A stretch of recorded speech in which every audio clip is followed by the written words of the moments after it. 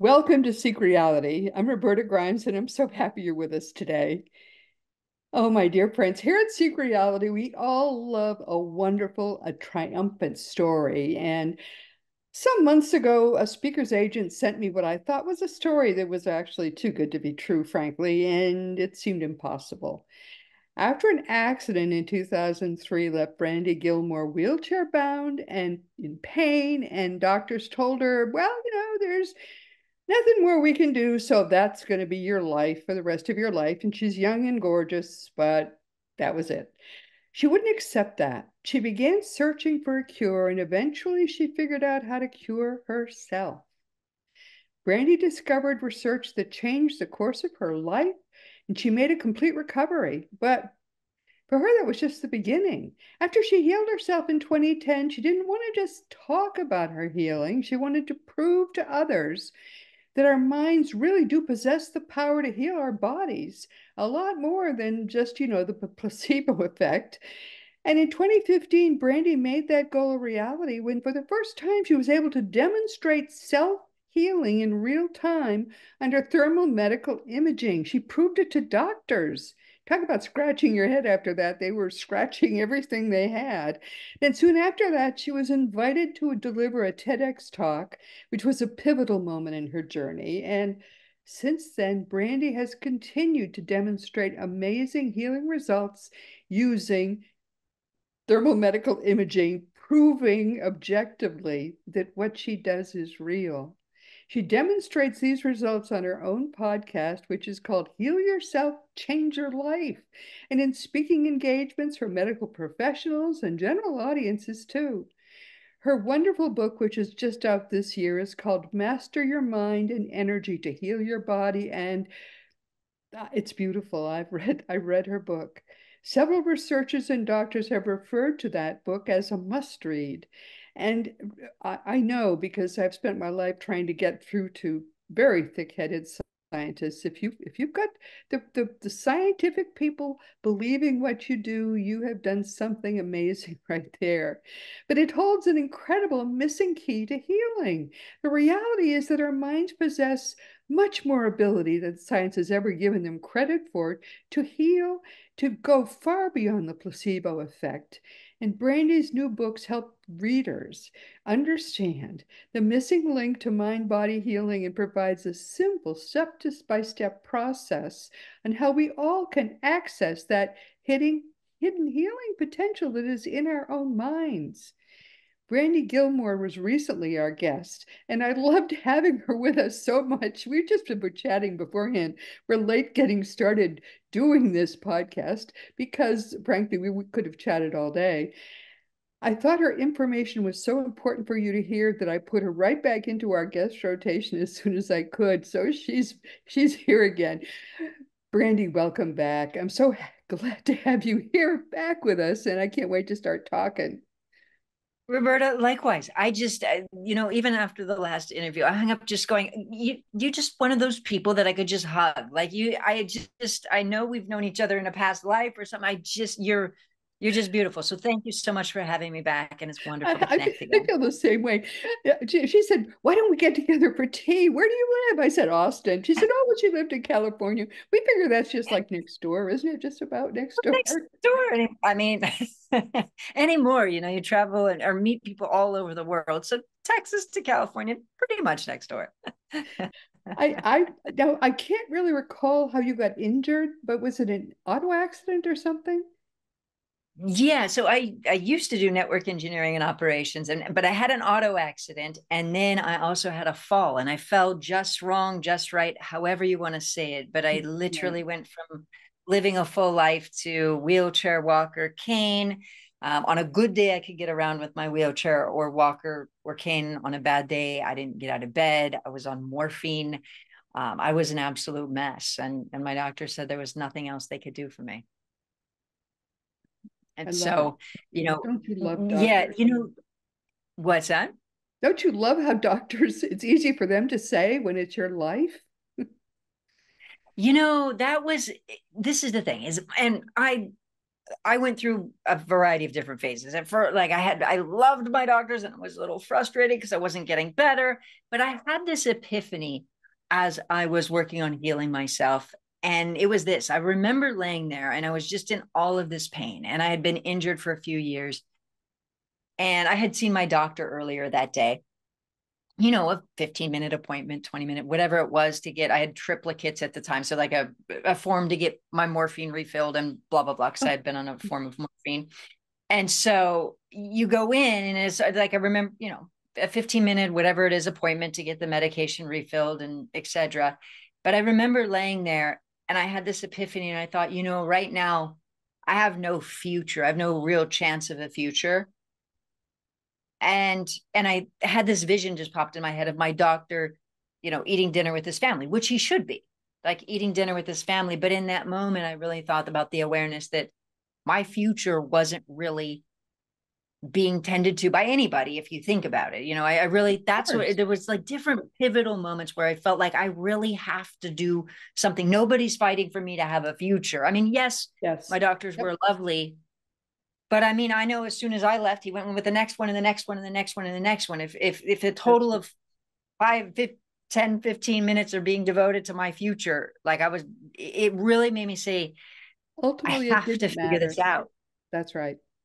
That's right. Yeah, I was just another number, another all person. this research, and you discovered that the mind has properties people just yeah you know there there were certain things that really opened up my mind for example the fact that people with multiple personality disorder can have different illnesses in different personalities was mind-blowing and there was even research of a woman who was blind in some personalities but not in others.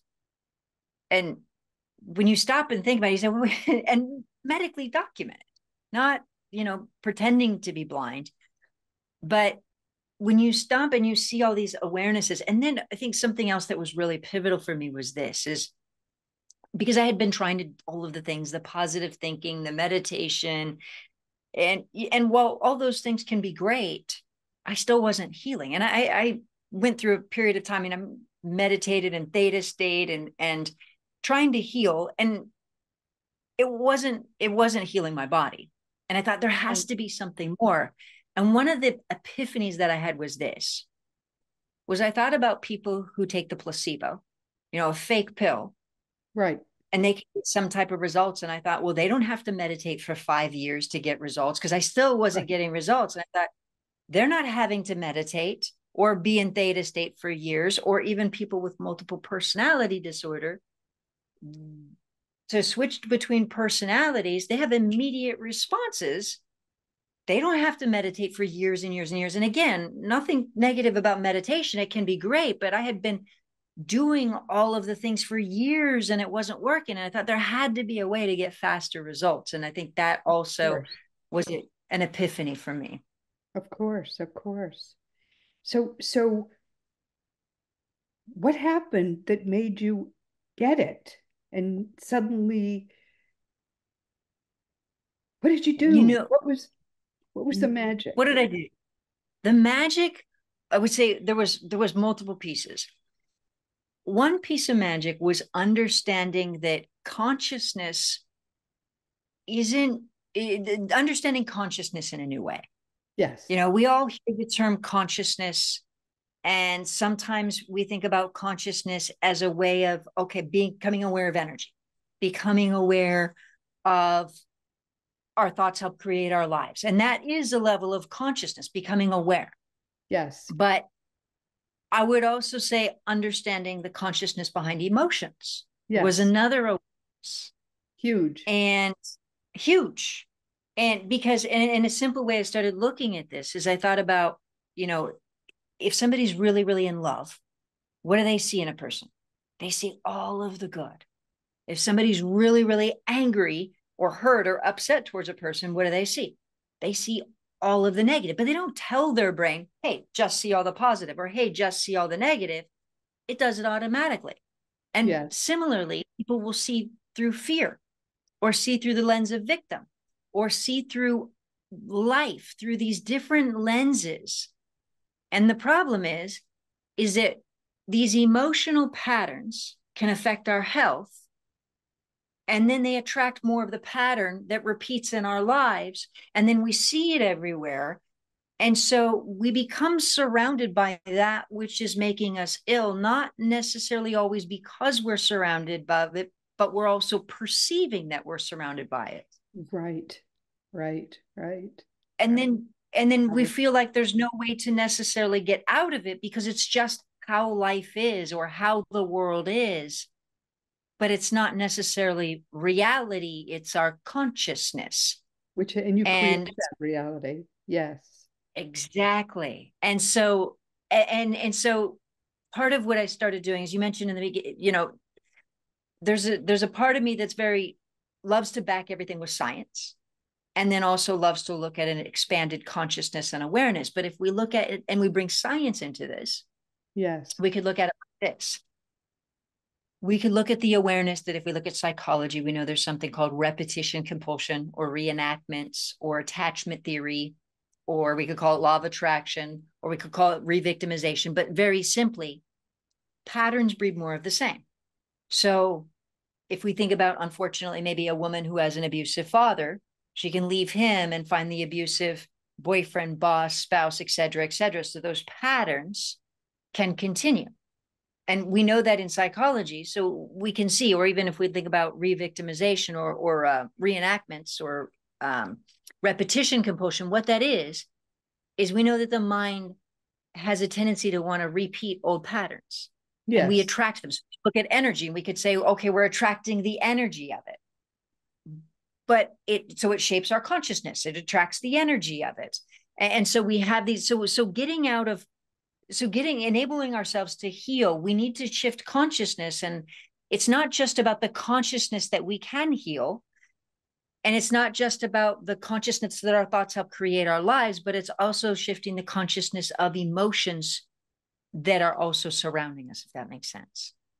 Oh it does because emotions consciousness is literally governed by emotions that exactly. the emotions yes the emotions govern our lives to an incredible extent. People have no idea.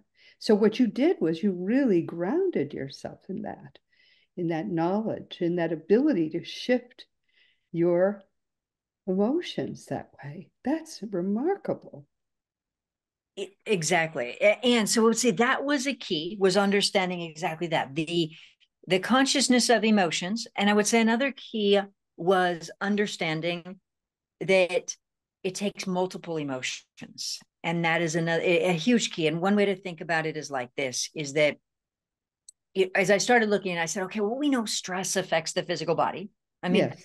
studies from harvard it even have even shown and even suggest that stress can create autoimmune conditions oh, or that yeah eh, or even um, we've all heard before maybe um, the widowhood effect or broken heart syndrome where somebody can die from a broken heart. And so if we know that somebody can die from a broken heart or even scared to death you know a person can be so scared their heart just stops. And so we can see the emotions affect the body. Now i started looking at objectively and saying but wait a second there are also people who have ptsd or severe trauma who aren't physically sick how does that work? And so what I began to figure out was it is a combination of emotions. And the analogy that I always use is, you know, it's like if somebody wants to make cake and they have flour, they can't make cake. But if they have flour and mix it with eggs and butter, vegan eggs and butter and other ingredients, etc., now they can make cake. And if they change the ingredients, they can make a completely different recipe. Now, that's how I became to realize that if somebody had multiple personality disorder, how that was possible for them to have one illness and one personality and another personality that's completely healthy and another mm-hmm. personality that has different issues. And so because of that that combination. Now, another key was the awareness that if we think about some of those ingredients, if you will, one of them even has to do with the self image. And so let's say somebody's emotional consciousness is that they're a sick person. You know, maybe they see themselves as being like their mother or father. Right. Then that, yeah.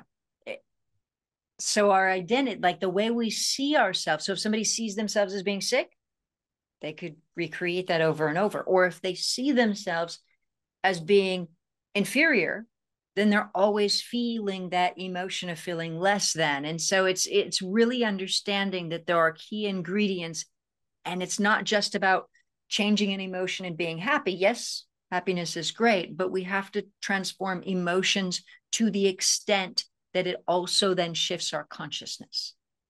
Brandy, I have known people who have exactly those issues. You have as well. Oh yeah, absolutely.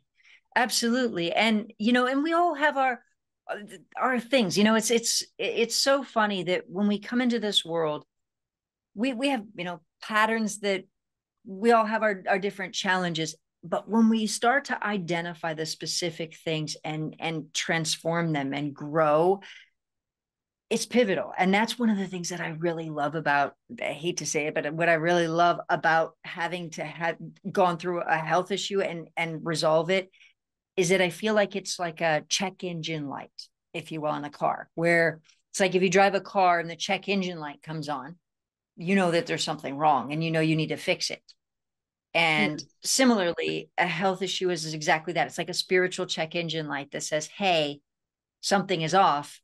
A health you need to fix issue it. is a spiritual check engine light. I'm going to try to remember that. That's great.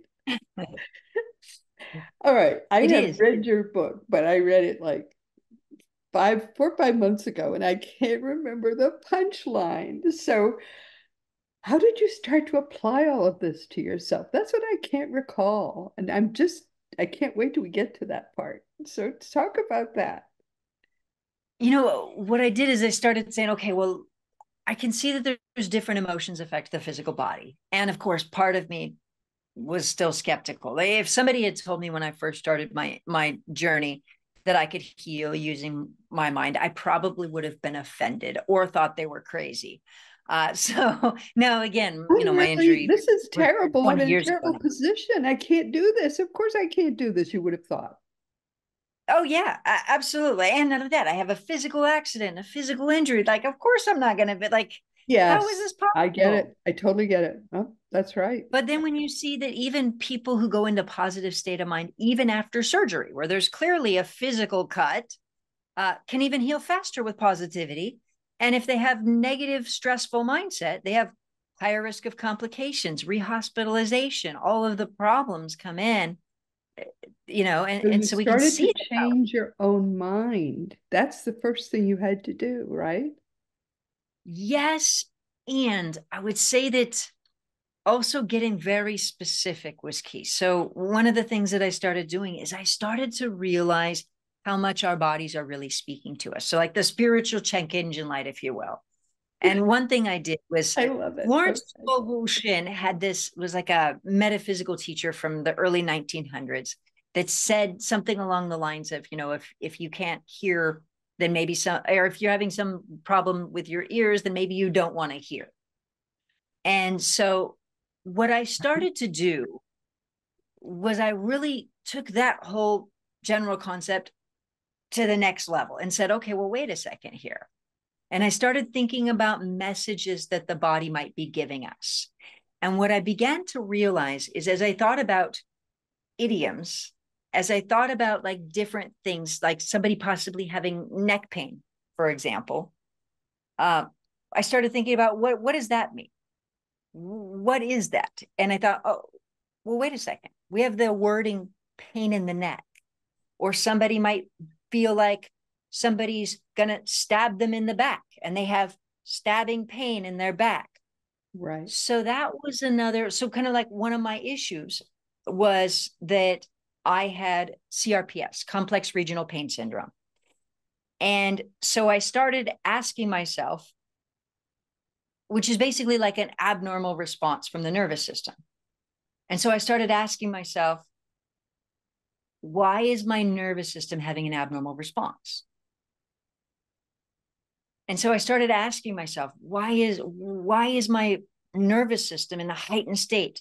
And that's what led me to the events of 9/11. And I started realizing that I had gone through a what I a, a trauma, so to speak, in 9-11, but I wouldn't have realized that it was a trauma. Because I at the time I I didn't think it impacted me because I wasn't actually there, but I was on the phone with people who were in the towers. And so I think that oh, was that, that was pivotal. Then it would have it would have affected you, of course it would have. People you knew were there. Yeah. So at the time I had mentioned that I did network engineering and operations and I worked um, in here here in California, but my shift was 5 a.m. to 2 p.m. So I was on the phone with a colleague in the trade towers when everything happened. And and basically my colleague started yelling and saying help me help me and then the phone went dead and then after that as i was you know of course it just goes silent. You go what do you do? And then you and then i saw on the news as i was watching it you know the planes hit. And so it's like the news came on. And so we're all just sitting there in the, in the company that i worked for. We're all just like and then because we had a lot of equipment also in the buildings all of a sudden and all of our phones are going crazy because everybody's network is down and, and all of these things. So i just went to work trying to help support people. But what else was happening at that time is in working in telecommunications we always had to have no current events. So there was televisions on every single pillar around me. And so as i was working trying to help people in the background the footage was playing over and over on all of the televisions that surrounded me. And then for months and months and months afterwards, it was, you know, are we in red zone? Are we in or for terrorist attack? You know, if you remember, it was like, well, are we on high alert? And so in the back of my mind, there was a lot of things going on. It was one, I felt like I was, you know, supposed to die to save others. And then another thing was, are we gonna like, is there, are we being attacked? So it was playing eight to 10 hours a day, you know, depending upon if I worked overtime that day in the back of my mind. And so I would say that even though consciously, how I felt was I just felt about caring for other people, that information got stored in my subconscious mind and I just suppressed it.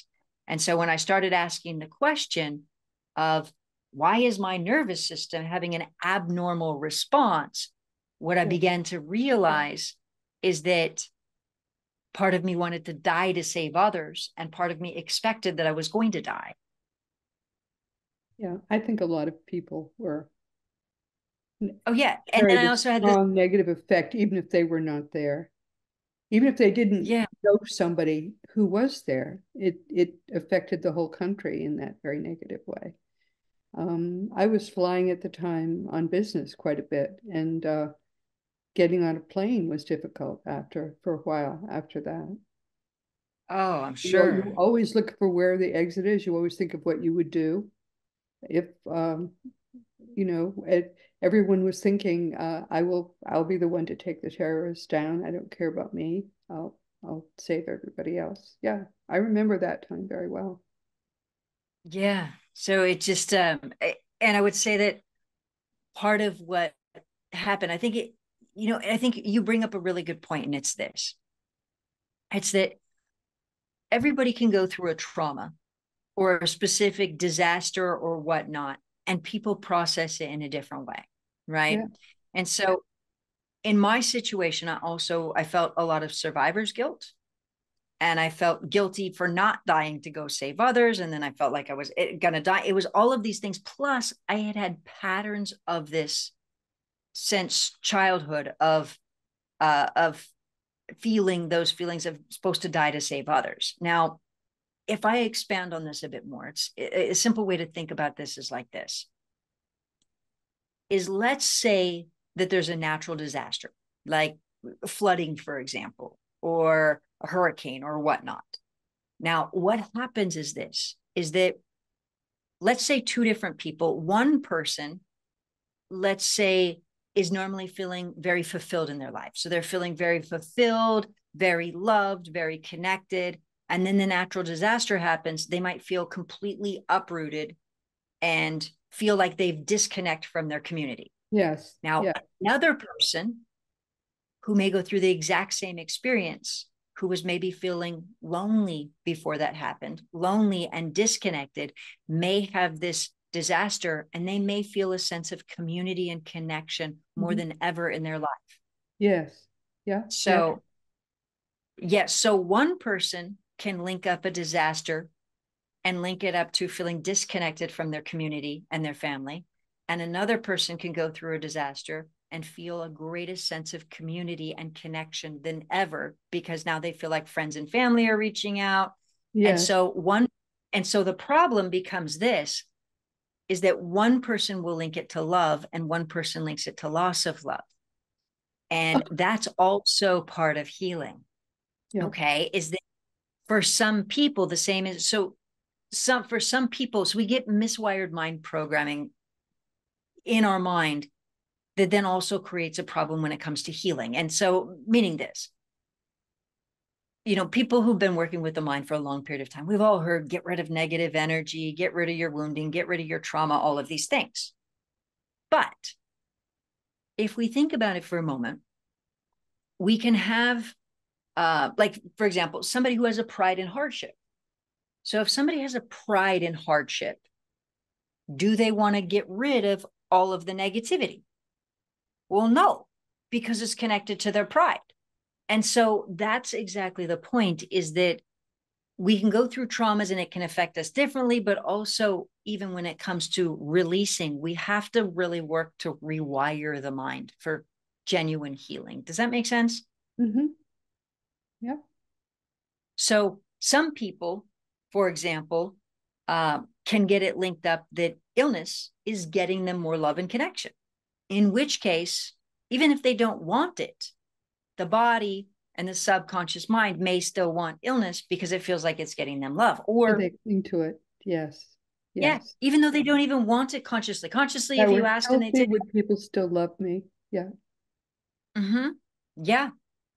Or even um um when we think about it, um, if we think about how miswired the mind can be, if we think about for a moment, you know, unfortunately, a cutter, we've all heard before somebody with self harm, a cutter may cut themselves and experience feelings of relief or euphoria or control or safety from cutting themselves. And of course, that doesn't make logical sense, but those things can get linked up in the mind. And so, point being is that, you know, when we were talking earlier and we said, okay, part of what I did to heal was I really mastered my emotions and a key to doing that was understanding that emotions could be miswired and then changing that, meaning survivor's guilt. I felt good for being a guilty person. Like I felt, if I felt good, it meant that I was good. If I felt guilty, it meant that I was good. Like I had a conscience. Our minds are so complex, aren't they? Oh my goodness.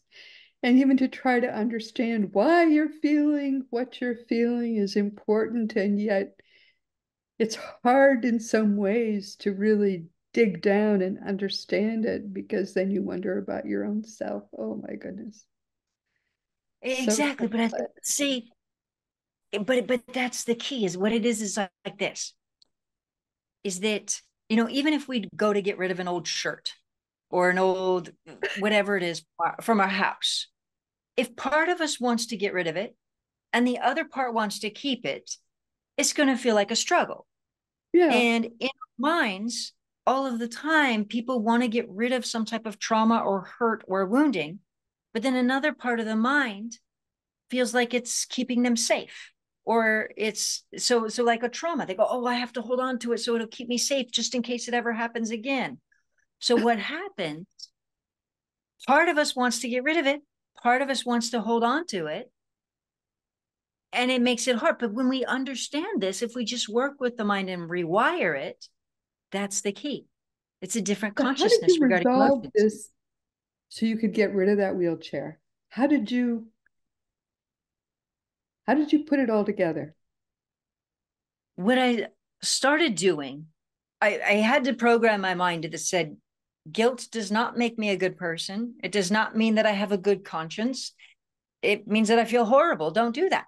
so, but I had to really rewire my mind because I felt like I was a good person. It meant I had a conscience, you know, and and I had grown up Lutheran, and so I had the the religious guilt. It was oh, like a oh, that's a tough one. It really, it really is. oh, so it was. I also felt that holding on to the fear was keeping me safe, and so I had to to let that go completely as well. Like fear is not keeping me safe. I and I, not only that, but then the other part, the part of me that felt like I needed to die for others, and the best thing to do was to die for others. I thought, well, wait, what if I just live and be my best self? That's a much better a, plan, Brandy. oh, what a What's that? that is. What a concept. Yeah. Much better idea. yeah, especially since you're young and gorgeous. Wouldn't it be nice to live a life that matches how you look? That would be wonderful. Isn't it great? You're so sweet. You're so sweet. Thank you. And it just so exactly. So I started correcting the wiring in my mind, and that was really powerful. Now, what was also, you know, I mentioned that as I changed, you know that basically the illness is like a check engine light on the car if you will.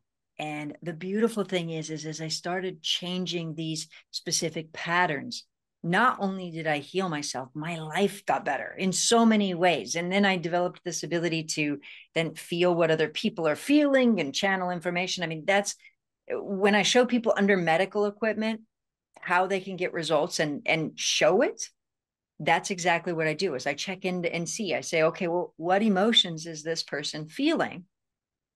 And then I show them and I just show them to shift their emotions.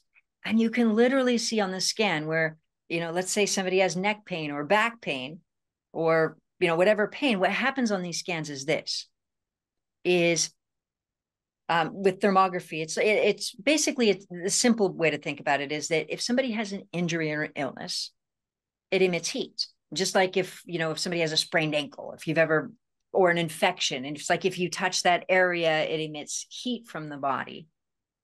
And so what medical thermography does is it detects that heat that's in the body. Uh-huh. and it and so under these scans if somebody has neck pain you'd see a large red area where their pain is or back pain. You'd see a large red area where the back pain is Right. And I'll show people to how to use their mind. And you'll literally see the scan go from red to green as their pain goes away. And it's it's incredible. And they do it. I just help them wow. to identify their. Yeah, the emotions and shift them. And so that, that what you that's what you did with your with your pain, you were able to eliminate it just using your mind. Absolutely. and it's amazing identifying the, the specific emotions and and transforming them. And and it's like when we transform the specific emotions the body has a ability to heal itself. And i know it sounds to me it would have sounded impossible but one way to think about it is like this. Is if we think about somebody who has a stroke let's say they have a right brain stroke eh, that can affect the left side of the body. Right. or a left brain stroke yes. can affect the right side of the body and so I started to think about it kind of like an emotional stroke, if you will.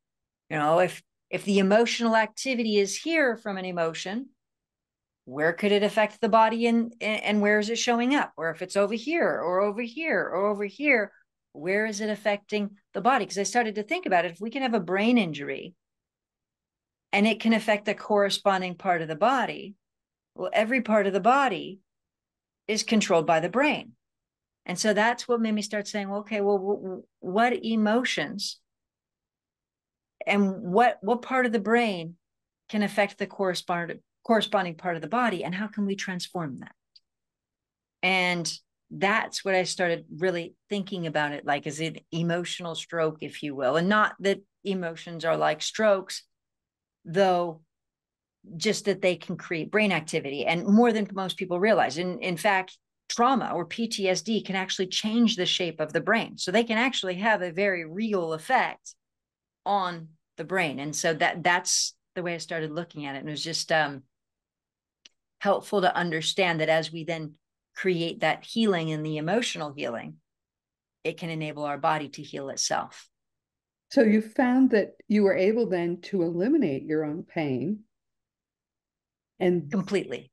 And then and I started going to to stand up and walk.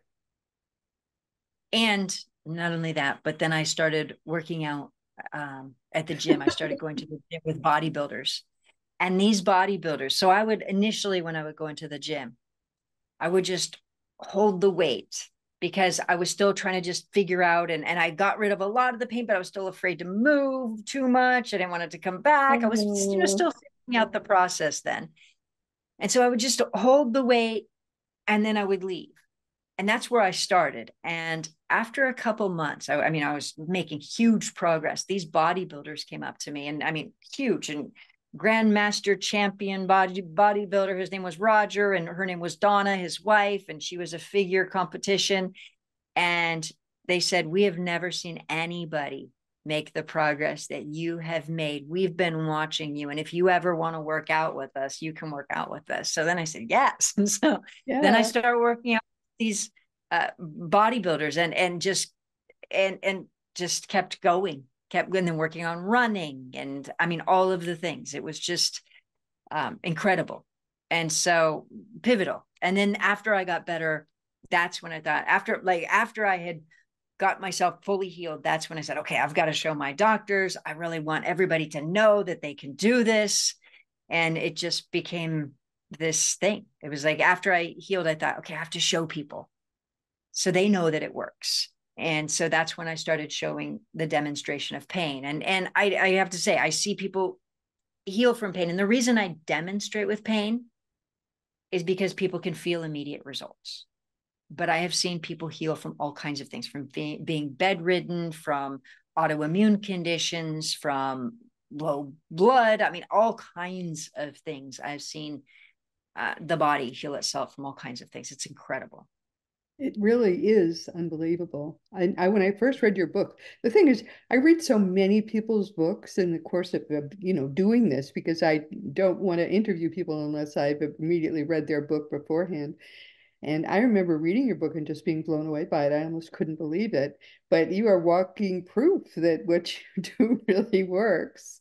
So you give talks about this in the medical community and say, hey, you're, you know, start using this with your your patients because it works so well. And and uh, do you do you counsel people? Do you have do you work with people personally who have issues? I basically my goal is to empower people. So yes, I work with some people, uh, but a lot of times I'm teaching classes or workshops or retreats or um, speaking. I really ultimately when we stop and think about it, the more that every single person knows how to use their own mind, yes. the better. The more that every person knows how to heal themselves. I mean, when we look around the world, that's part of the problem is that even when we think about mental health, it's become a right, like an increasing problem. More and more people are even just having ha- problems with happiness, with positivity. And so, uh, personal empowerment is a huge passion of mine because I know what it felt like to beg and hope that somebody would help me. And then from going to a place of then feeling like, hey, I can actually help myself and not just help myself because I had been trying years and years and years, but actually get real results. That um, that was pivotal for me. And so that's what I want everybody to experience. And, and, and one way to think about it is kind of like this is, you know, um, realizing what's possible. And there's something called, are you familiar with the four minute mile? Have you ever heard of that before? The fact, just the fact that that was a barrier, a psychological barrier that people didn't think you could exactly run faster than that. Yes. Yeah. I mean, throughout for, for throughout history, people thought it was impossible for the human body to run a mile in under four minutes.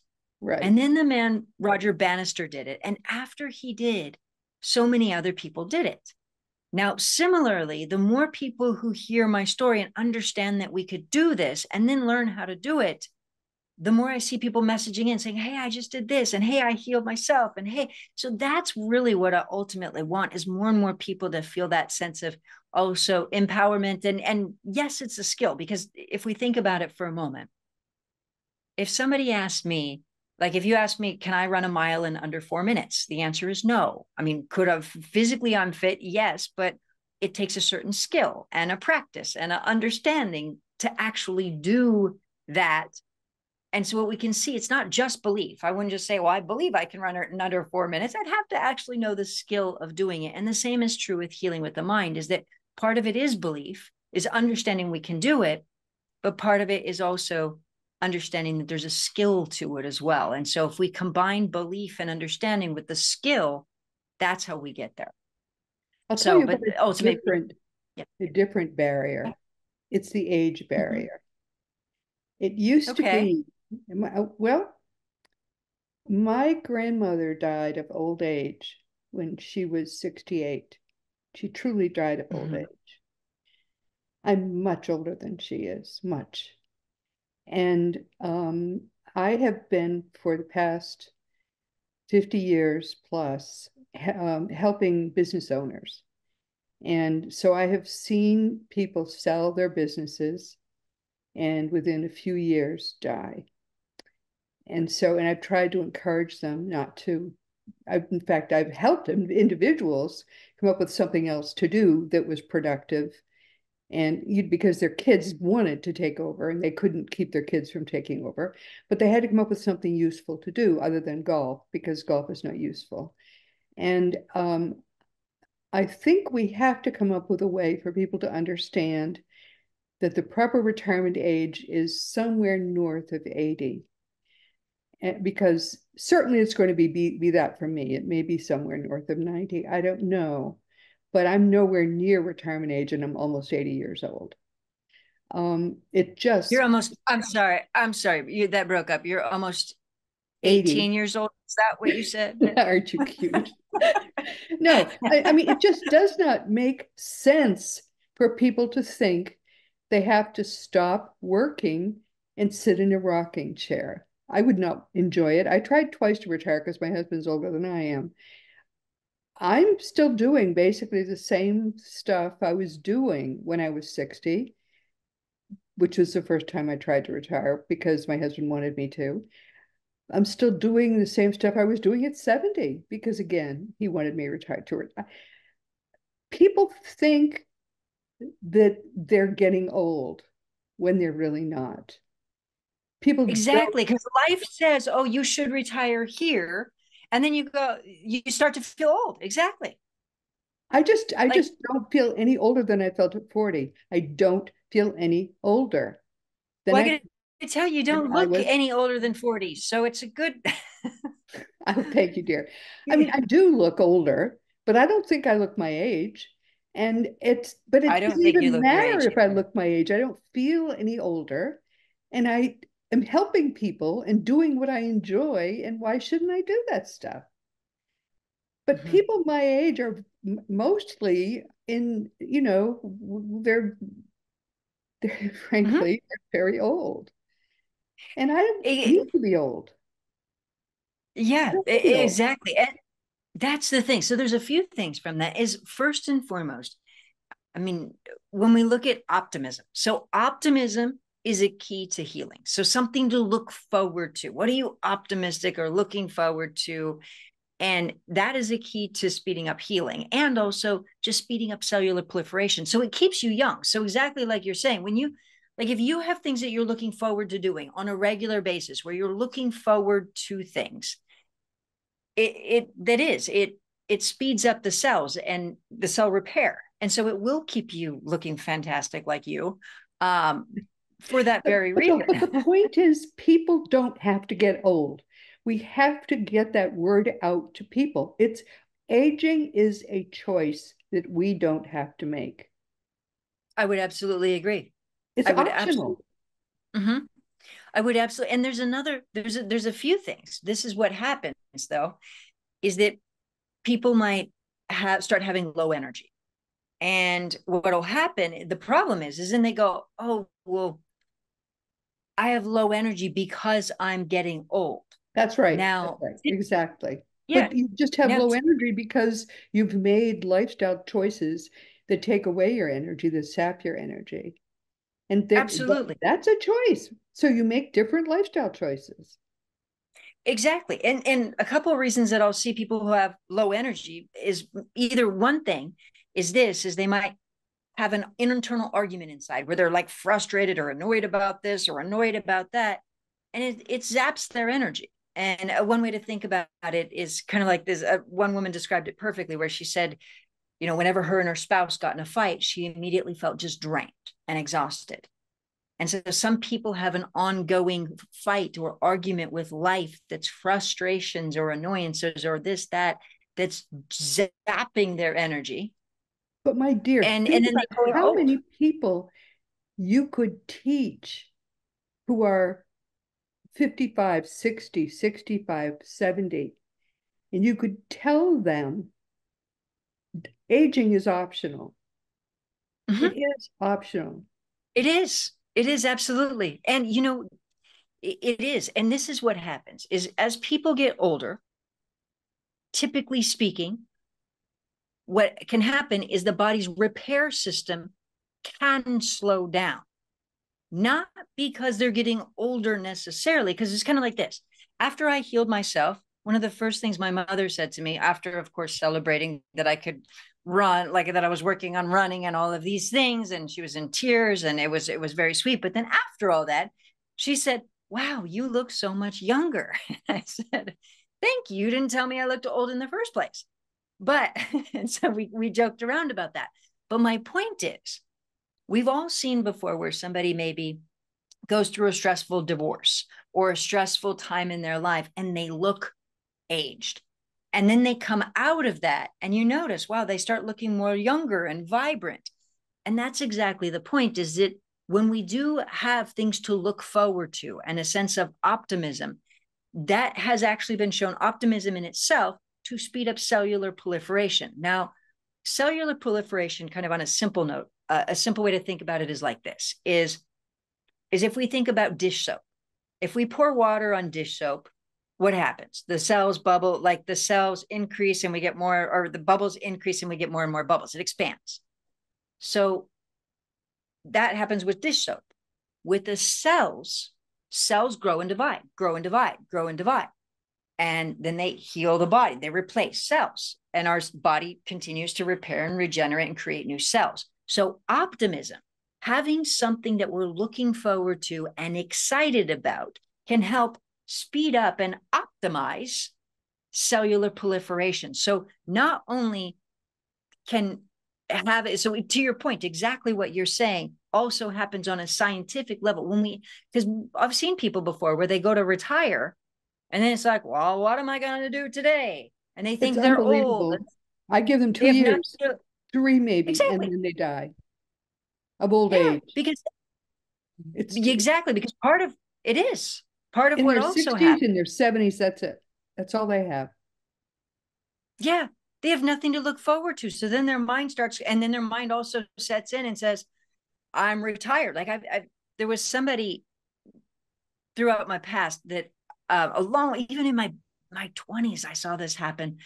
Uh, there was a, uh, my basically at the time, uh, my partner, my relationship, uh, the basically like my mother-in-law if you will she started saying i'm so old i'm so old and i literally watched her age years in a very short oh, period dear. of time so i've seen that and yeah and it's like we, we, were we're, people will tell themselves so gone over our time we're gonna have to stop talking I'm oh. going to have you right back. I, I just have to have you right back. We have so much to talk about. We, we really we do.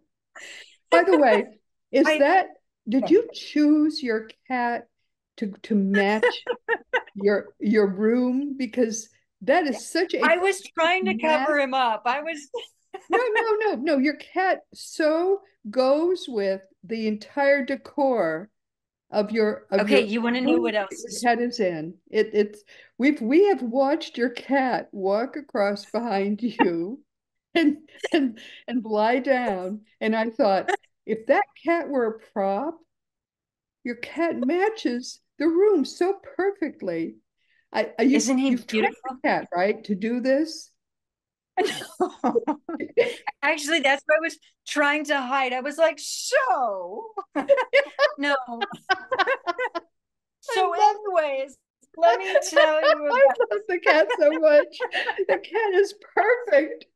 What's the cat's name? Okay, you're gonna laugh because okay, so I I I got him while I was working on my book to actually help keep my other cat busy while I was working on my oh, book. Another cat now, too. I do have one other cat. So they're they're buddies. They're they're so sweet together. So that's why I got him. So he's actually just about two years old as I was working on my book, but his name is Photon. So, which is funny because as you read my book, it's biophotons, it's energy of the body. So, and he was like a little white light that's just bouncing around the house, and that is him. So his name is Photon, and uh, and he's What's just the, the sweetest little name. I hesitate to ask.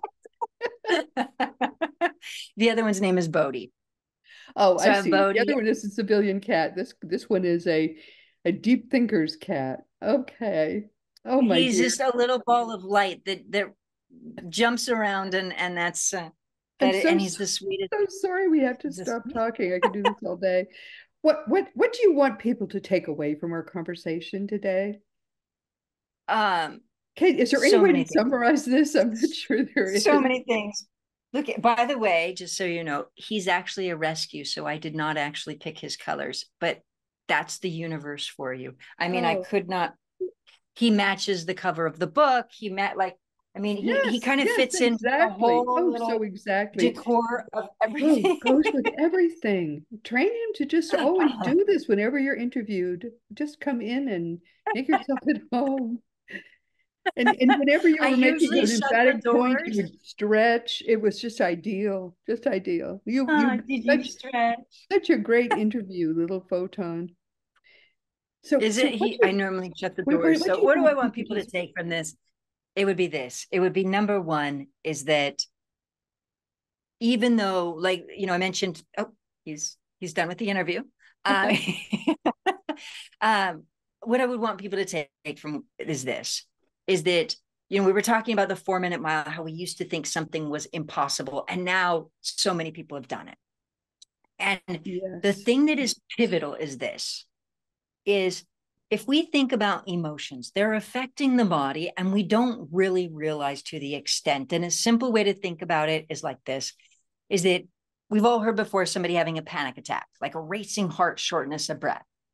Now imagine if people didn't know it was panic and or anxiety. Now it's easy to imagine because all of the time people go to the emergency room, they think they're having a heart attack and then the doctor says, oh, it's actually anxiety. And they don't realize that anxiety is actually affecting them in that panic. Now, if we take that basic concept, a profound concept, and we expound upon that, there are other emotions that are affecting the foot pain, the autoimmune, the leg pain, the back pain, the neck pain, the blood issue, the blah, blah, whatever it is. All of these other emotions are affecting the body, and we just don't realize it's happening.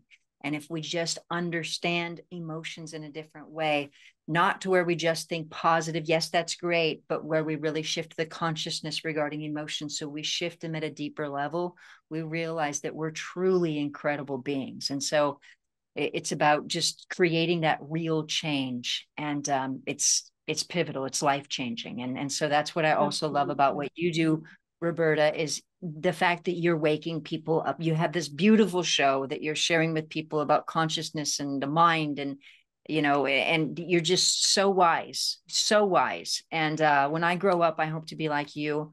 Um just... i love that. Oh my dear one. Uh, we're going to do this again very soon thank you I, I i look forward to it thank you for, thank you so much for being here Everyone, I'm so sorry we've come to the end of our time. This this went too, much too quickly. Everyone, this has been Secret. I can't even talk, obviously. that cat really blew my mind as well. this has been Secret Reality with Roberta Grimes. I'm so happy you could be with us today. Please never forget never forget that you are a powerful, eternal being. Obviously, since I feel eternal, I don't care being almost 80 years old. It doesn't matter to me. But you never began, you never will end. And when you get that, when you get all the implications of that fact, it's going to change everything in your life for the better. Next week, our guest will be Karen Anderson. She'll be with us for the seventh time. Karen is a natural psychic She's been that from childhood and she loves animals, so she's gravitated toward becoming an animal psychic. She's documented her career in three books called Hear All Creatures, The Amazing Afterlife of Animals, and her recent book, which is called The Pet I Can't Forget Finding Hope and Healing with Signs from the Afterlife. Karen is someone else who has long been a crowd favorite with Seek Reality listeners, and she loves animals enough now to have established her own sanctuary for aged pets that no one else wants. She'll take them in. I think you're going to love hearing from her, so please be sure to join us next week. And this week, what can I say? We've been talking with Brandy Gillmore, who's been with us for the second time, but not the last.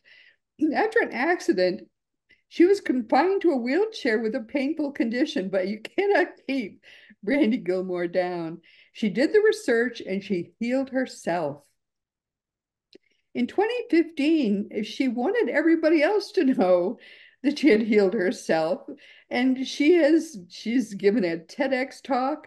She's doing, demonstrating to the medical community and everybody else that you can't keep her down. Her podcast is called Heal Yourself, Change Your Life. And her new book, which is out this year, is called, and I recommend this book. And talking to her, I realized I, I should have made notes from the book because I have read so many books since then. I couldn't remember now, was this in Brandy's book or was this in somebody else's book? Her book, which is great, is called uh, Master Your Mind and Energy to Heal Your Body.